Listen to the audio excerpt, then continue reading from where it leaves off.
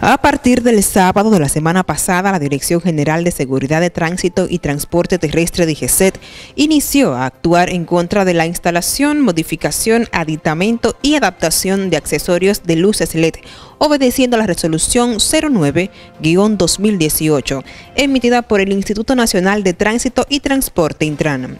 En la mañana de este lunes, en diferentes puntos de esta ciudad de San Francisco de Macorís, la DGCET inició las acciones en las que incautaron las referidas luces de alta luminosidad.